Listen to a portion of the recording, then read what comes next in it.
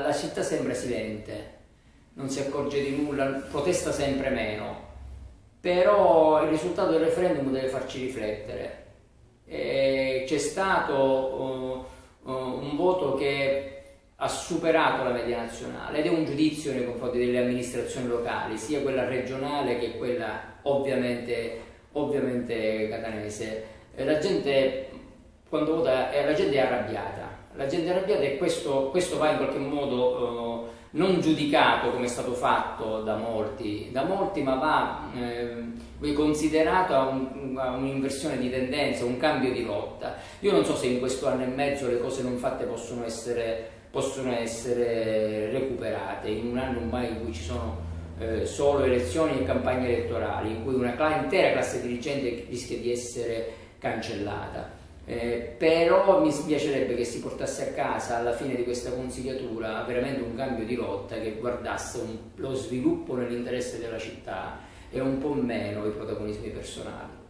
Io ho votato contro il piano di riequilibrio, eh, il nuovo piano di riequilibrio presentato il 29, il 29, settembre per una serie di motivazioni, perché secondo me prevedeva del, degli obiettivi non raggiungibili, perché si prevedevano dismissioni nelle nazioni, maggiori entrate, cose che secondo me erano,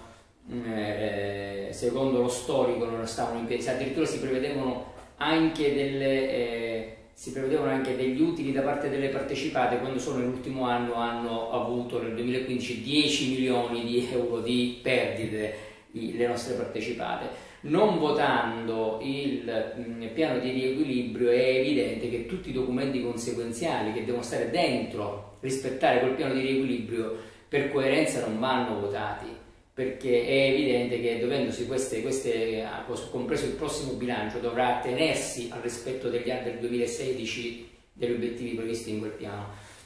Quindi diciamo mai è logica, è logica conseguenza. Alcune cose mi danno pure, pure ragione, sono previste per esempio delle delle entrate per soddisfare nell'attuale bilancio, sono previste delle vendite che devono soddisfare le esigenze viste nel piano di riequilibrio che ovviamente ad oggi che, che nei fatti siamo in un precongiuntivo non sono stati rispettati. Allora adesso presenteranno un emendamento, ma è, è bene vederlo, è bene ragionarlo. Il tentativo è quello di, come dire, a mio avviso, quello di eh, mettere tanta fretta perché questo cerino passi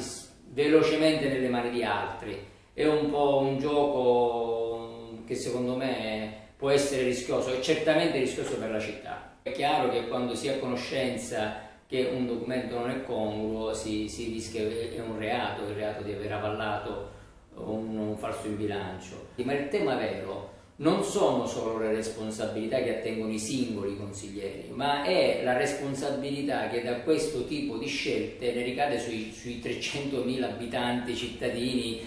della, della città, perché eh, se eh, queste scelte sbagliate è chiaro che portano poi a situazioni traumatiche nella città. La città vive già una situazione di crisi profonda, no? sarebbero ovviamente aggravate da un da documenti che non rispondono alla realtà. Si lavora per evitare il dissesto, io sono sempre stato contrario al dissesto, sono contrario al dissesto se c'è un piano serio che ovviamente è pesante da portare avanti per uscire dalla, da questa situazione di crisi, perché ehm, la città ce la può fare, dico il comune ha delle risorse importanti, però nel momento in cui non rende, ci si rende conto che la possibilità di evitare il dissesto eh, non esiste, nel senso che c'è solo spostamento un anno dopo l'altro di problematiche che via via si accumulano. Nel frattempo il patrimonio che valeva X domani depauperato e non mai, mai mantenuto ovviamente perde ancora di valore. Noi non abbiamo neanche la possibilità di, di risorgere, di ricominciare. La città è in stato di sofferenza ormai da tanti anni, da una decina d'anni il piano Stancanelli, l'attività Stancanelli è stata un'attività molto dura, molto rigida. Eh, io credo che la situazione rispetto ai cinque anni precedenti si è peggiorata, la crisi è peggiorata e non ci sono, non, non vediamo via d'uscita, cioè noi non vediamo un cantiere aperto a Catania, che è quello che consentirebbe di portare lavoro, di portare lavoro e quindi di, consen- di consentire anche di pagare le tasse. Abbiamo un'evasione è un'illusione che, eh, che rasenta il 50% dei nostri cittadini e non sempre è colpevole, spesso è anche incolpevole perché chi perde il posto di lavoro ovviamente non è nelle condizioni di pagare le tasse. Abbiamo una situazione strutturale del nostro patrimonio lo dicevo poco fa, che è eh, assolutamente ormai eh, difficile da recuperare sul piano anche strutturale, ha un valore sul mercato in un momento difficile come questo ancora inferiore, l'abbiamo visto su Palazzo Bernini, 2 milioni e 200 mila euro a fronte di 7 milioni e 9 iscritto in bilancio. Allora, io credo che siamo in una fase in cui la politica deve cominciare a parlare il linguaggio della verità. Parlare il linguaggio della verità ovviamente eh, non fa consensi, però eh, instaura un rapporto, ricuce un rapporto di lealtà nei confronti del corpo elettorale, dei cittadini, che diventa fondamentale. Dire che le cose vanno bene e poi è tutta un'altra storia, io credo che sia, eh, non credo che sia molto onesto. Il sindaco ha dire, i numeri per fare molto bene alla città e invece si è un po' chiusa in se stesso, più eh, si è, dedicata molto di più dire, a un po' a delle passerelle che servono alcune se poi c'è la sostanza dietro. E, ehm, come se Catania fosse diventata in qualche modo pal un palcoscenico, no? un teatro nel quale il protagonista è chi ha vinto le elezioni e non la città. La seconda è che a fronte di queste grandi relazioni di cui il sindaco dispone, eh, non c'è un cantiere aperto, non c'è, guardi, anche, anche un BRT,